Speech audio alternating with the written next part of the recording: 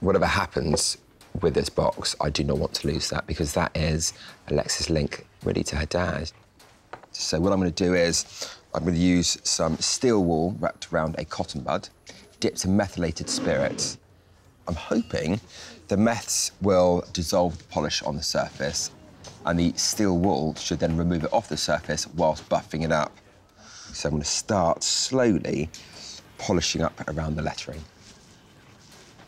Now, this is slightly nerve-wracking because what I don't want to do here is use too much steel wool for too long because it is an abrasive, and the more that I use it, the more it's going to start wearing away at that brass.